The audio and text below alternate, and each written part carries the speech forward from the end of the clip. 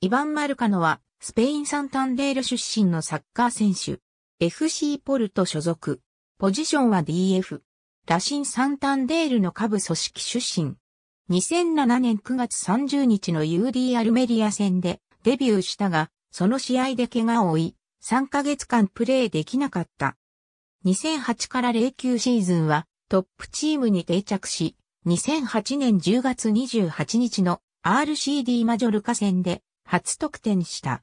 フアン・ラモン・ロペス・ムニス新監督の元レギュラーに昇格し、チームトップの35試合に出場してセンターバックながらに得点3アシストを決めた。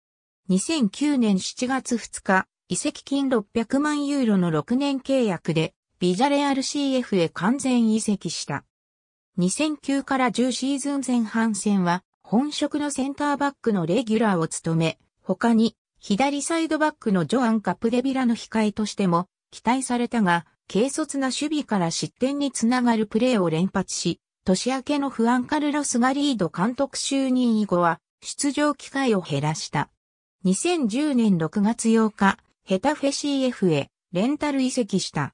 2011年6月15日からはオリンピアコス FC へレンタル。2012年6月7日、ロシアの FC ルビン火山へ4年契約で移籍をした。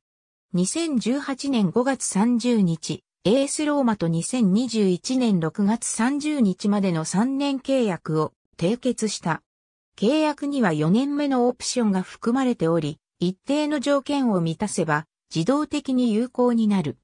2019年7月11日、古巣の FC ポルトに復帰し、4年契約を結んだ。